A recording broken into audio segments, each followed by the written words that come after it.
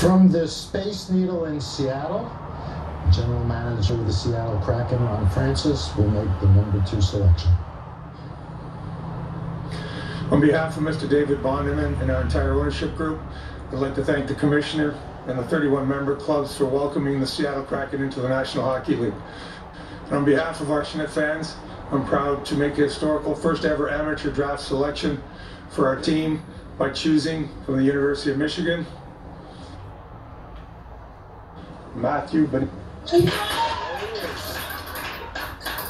Matty Beniers, big time complete center, PK, matchup center guy.